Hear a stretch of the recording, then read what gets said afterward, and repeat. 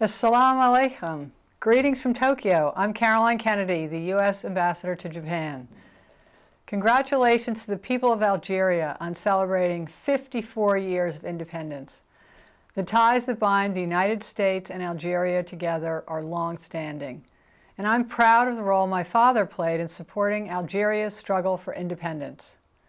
From the Senate floor to the Oval Office, he took up the cause of the Algerian people and saw in their aspirations the same yearning for dignity and freedom that inspired America's founding fathers in 1776.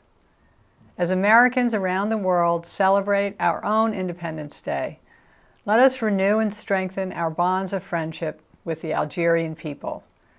I hope you take this opportunity to reflect on your country's proud achievement, recognizing that we must continue to strive toward the cause of freedom, peace, and human welfare.